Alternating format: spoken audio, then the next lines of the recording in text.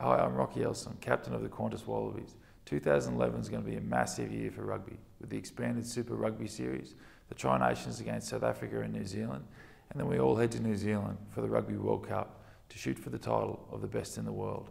It's going to be a big year, so if you're into rugby, we'd love to see you a part of it. Clubs will start signing players in the next month, so grab your mates and head along or make some new friends there. So go to rugby.com.au, it's rugby, you'll love it.